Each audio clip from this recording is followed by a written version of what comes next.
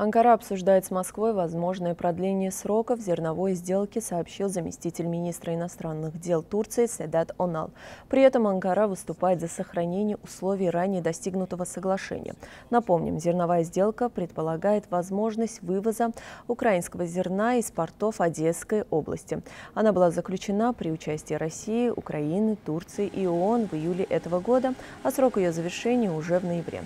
В рамках договоренностей страны Запада со стороны со, со, со своей стороны должны были снять ограничения по вывозу российских удобрений. Президент России Владимир Путин ранее раскритиковал реализацию сделки из-за того, что фактически Москва по-прежнему не может вывозить удобрения, а все продовольствие из украинских портов идет а, не в бедные страны, как планировалось изначально, а в страны Запада.